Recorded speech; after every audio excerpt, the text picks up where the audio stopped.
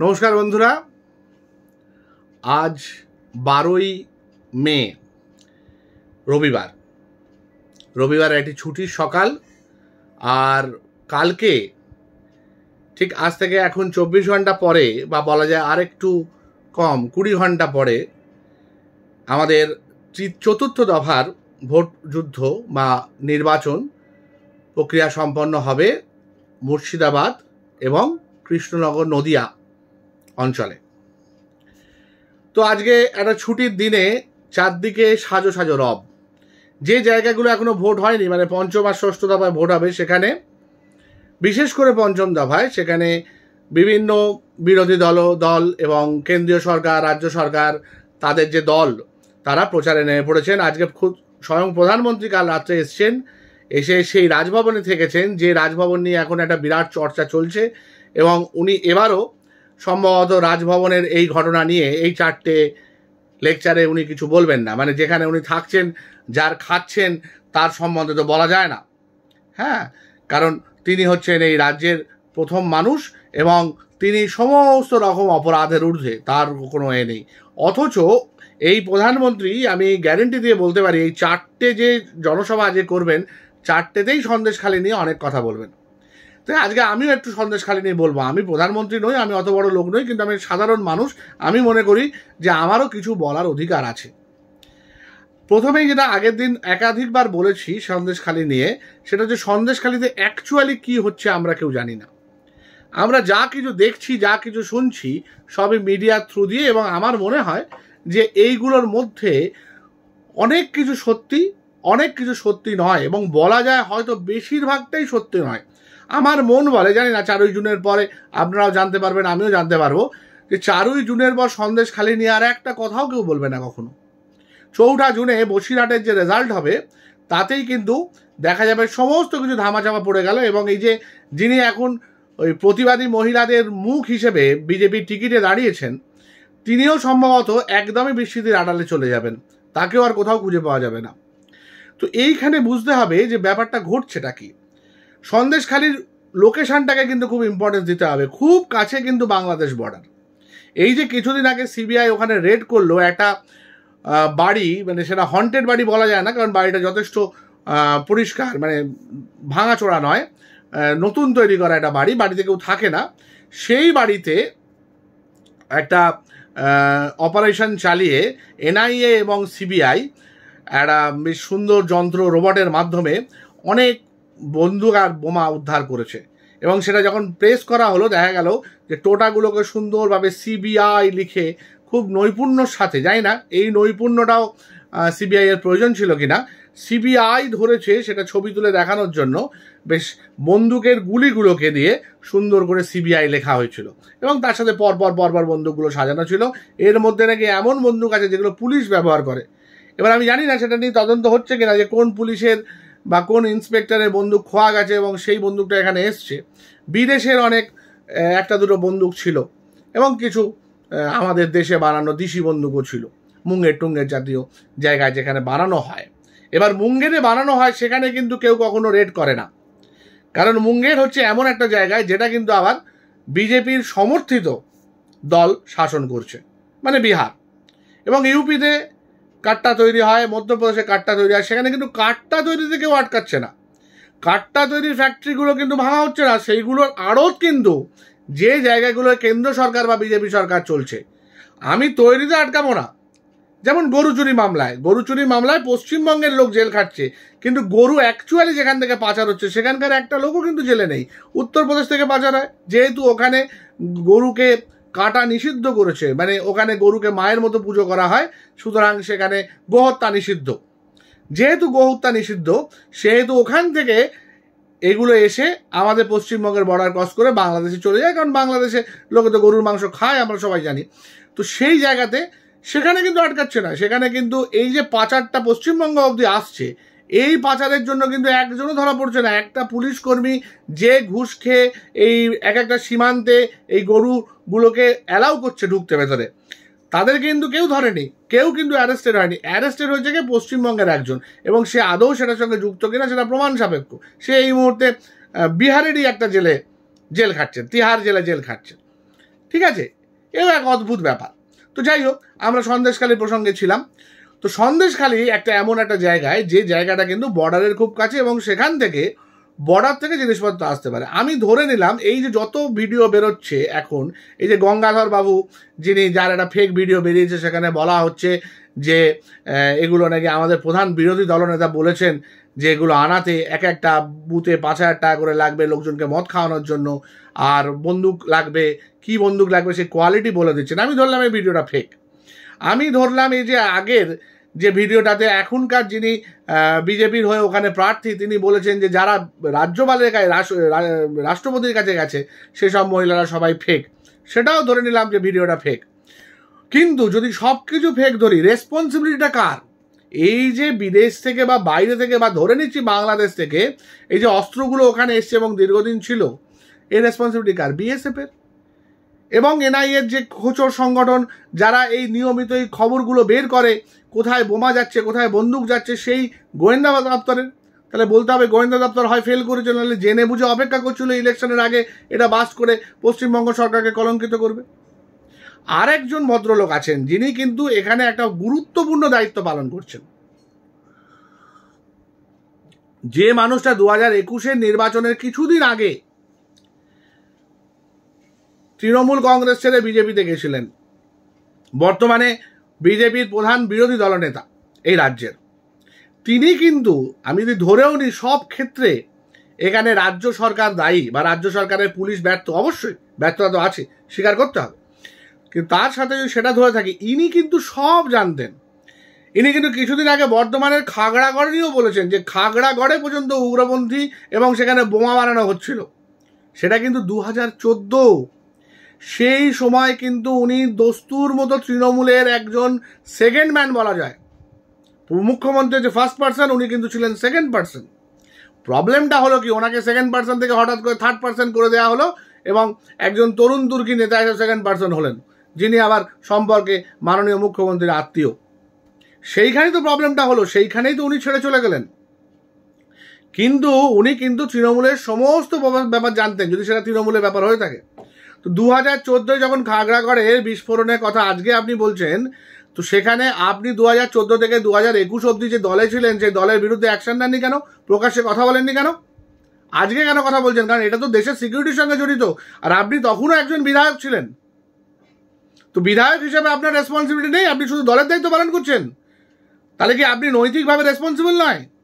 আজকে একজন সাংসদ যিনি বর্ধ, মিদনাপুরের বিদায়ী সাংসদ, এখন দুর্গাপুর বর্ধমানে উনি দাঁড়িয়েছেন মানে এর হয়ে কেন্দ্রীয় শাসক দলের হয়ে, বিজেপির হয়ে। তিনি পরিষ্কার বলছেন, পুলিশের প্যান্ডুল খুলে নেব। পুলিশকে চাপকে লাল করে দেব। পুলিশকে ওপেন হুমকি দিচ্ছেন একদম সাংবাদিকের সামনে। সেই ভিডিও ফেক নয়। সেটা ফেক উনি বলেননি। পুলিশের চামড়া তুলে দেবো ওসির চামড়া তুলে দেবো, ওসির প্যান্টুল খুলে নিতে হবে। একটা সাংসদ বলছেন যিনি এখনও কাগজে কলমের সাংসদ। আর সেটা আমরা মেনে নিচ্ছি, তার এগেনস্টে কোনো রকম অ্যাকশন নেওয়া হচ্ছে না। কোনো ফৌজদারি মামলা হচ্ছে না, নির্বাচন কমিশন কোনো দায়িত্ব নিচ্ছে না। তাহলে নির্বাচন কমিশনকে যদি আমি পক্ষপাত দুষ্ট বলি, একজন সাধারণ মানুষ হিসেবে কি ভুল কথা বলছি? যিনি আহমেদাবাদে গিয়ে ভোট দিতে গেলেন, মাননীয় প্রধানমন্ত্রী, তিনি যে রোড শোটা করে ভোট দিতে গেলেন, সেটা কি লিগাল ছিল ওই দিনকে ভোট দেয়া? নির্বাচন বিধি লঙ্ঘন নয়? এই ভদ্রলোক যে কথা বললেন বর্ধমান দুর্গাপুরে, সেটা নির্বাচন বিধি লঙ্ঘন নয়? তো নির্বাচন বিধি লঙ্ঘন করছে, তার বিরুদ্ধে আমি কোনো ব্যবস্থা নিচ্ছি না, সে শাসক দলের, কেন্দ্রীয় শাসক দলের সঙ্গে কোনো না কোনোভাবে জড়িত তাই। অথচ সেটা উল্টো দিকে, বিরোধী পক্ষের ক্ষেত্রে কিন্তু আমি অ্যাকশন নিচ্ছি, আমি কোর্টে যাচ্ছি। তার মানেটা কি? আমি পক্ষপাত দুষ্ট নই? এবার এই পক্ষপাত দুষ্টের কথা যদি আজকে বিরোধীরা বলে, ভুলটা কোথায় বলছে? তুমি তো পক্ষপাত দুষ্টের কাজ করছ রে ভাই। আজকে সিবিআই ইডি ইলেকশন কমিশন এগুলো সমস্ত ইন্ডিপেন্ডেন্ট মেশিনারি থাকার কথা। কিন্তু তারা তো শাসক দলের হয়ে ইভেন সিআইডিও করছে রাজ্য সরকারের হয়ে। তো তারা বিরোধী, তারা পক্ষপাত দুষ্ট হলে কী কীভাবে আজকে আমরা কার উপর নির্ভর করব? এইভাবে যদি ক্রমশ বিচার ব্যবস্থা পক্ষপাত দুষ্ট হয়ে যায় হাইকোর্ট একরকম রায় দিচ্ছে, সুপ্রিম কোর্ট একরকম রায় দিচ্ছে, আমরা যাই কোথায়? আমরা কার কাছে যাব? সবাই তো পার্শিয়াল কেউ তো ইম্পার্শিয়াল নয়, কেউ তো জনগণের কথা ভাবছে না, বা নিরপেক্ষ মানুষের কথা ভাবছে না, বা নিরপেক্ষভাবে কাজ করছে না। অঙ্গুলি হিলনে কাজ করছে কোনো একজনের। হয় শাসক নয় বিরোধী। সেম জিনিস করছে মিডিয়া অর্ধেক চ্যানেল দেখবেন কেন্দ্রীয় সরকার হয়ে কথা বলছে, অর্ধেক চ্যানেল দেখবেন, রাজ্য সরকার হয়ে কথা বলছে। মণিপুর নিয়ে কোনো খবর নেই। বেশিরভাগ জায়গায় মণিপুর নিয়ে কোনো খবর নেই। প্রধানমন্ত্রী এত জায়গায় যেতে পারছেন, মণিপুরে যাননি উনি একবারও। একবার প্রচার করতে পর্যন্ত যাননি। কেন যাননি প্রচার করতে? এই প্রশ্ন তাকে কেউ করছে না। বড় বড় মিডিয়া, ওনার, উনি জীবনে বোধহয় প্রথমবার এরকম একটা মিডিয়ার সম্মুখীন হলেন, এতটা চাপ রয়েছে ওনার এবারে। উনি এবারে ফেসে যেতে পারেন। চারশো কেন? দুশো বার হবে কিনা সন্দেহ আছে। এই পরিস্থিতিতে উনি মিডিয়ার সম্মুখীন পর্যন্ত হয়েছেন। কিন্তু সেখানেও কেউ প্রশ্ন করল না একবারও যে আমি মণিপুর গেলেন না কেন?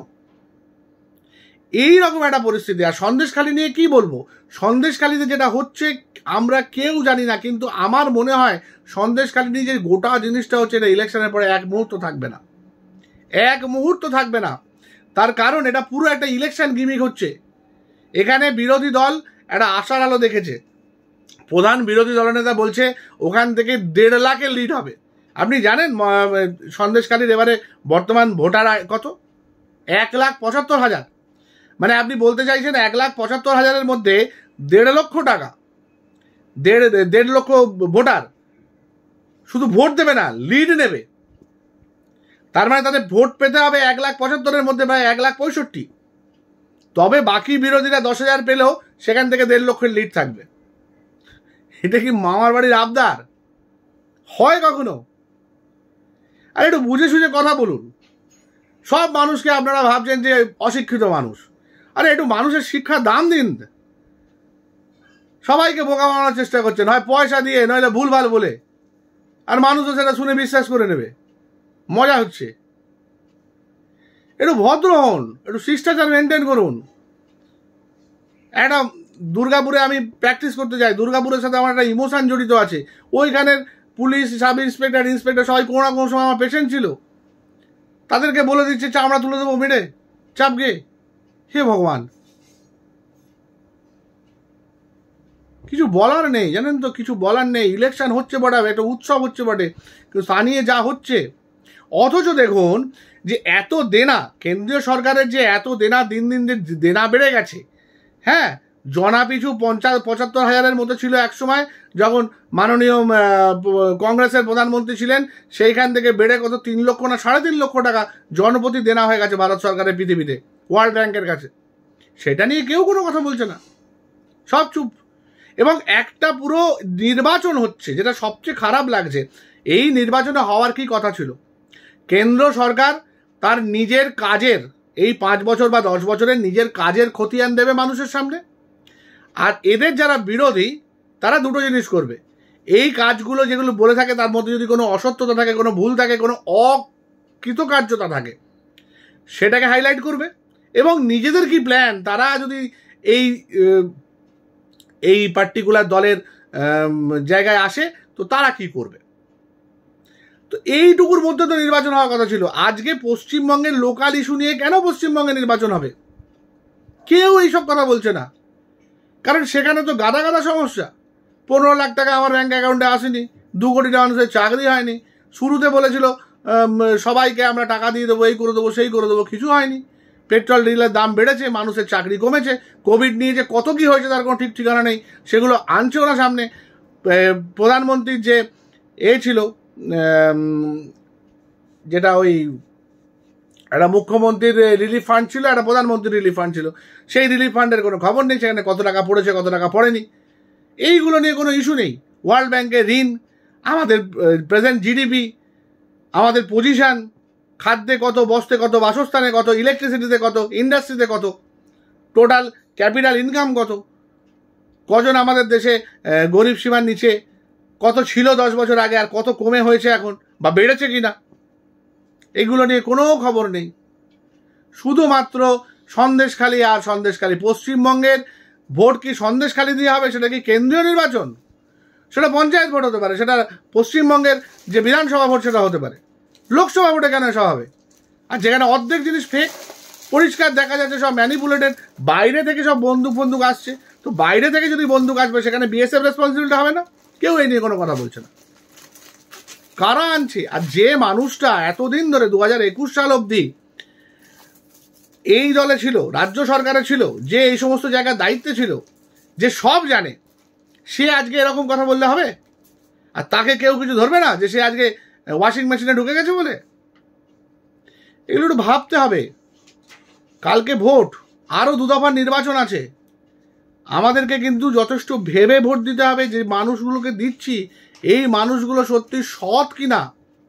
এবং সৎ যদি না হয়, তাহলে এর থেকে নোটা ভালো এদেরকে দেওয়ার থেকে। আমি বলব, ব্যক্তিগতভাবে আমিও হয়তো সেটাই করতে চলেছি, যে কাউকেই ভোট দেবো না। কারণ প্রত্যেকে আমাদের কাছে একই জায়গায় রয়েছে। এতটাই খারাপ অবস্থায় রয়েছে। কেউ ভালো নয়, কেউ কম ভালো, কেউ বেশি ভালো। এর মধ্যে আমাদের চয়েস করতে হবে। ভেবে চয়েস করতে হবে। ভাবুন, নিজের ভোটটা দয়া করে ভেবে দেবেন, এটা আমার অনুরোধ। আর যতদিন না আপনারা ভাবছেন, আমি অন্তত ইলেকশনের দিন অবধি ভাবাতে থাকব। ভালো থাকবেন, নমস্কার।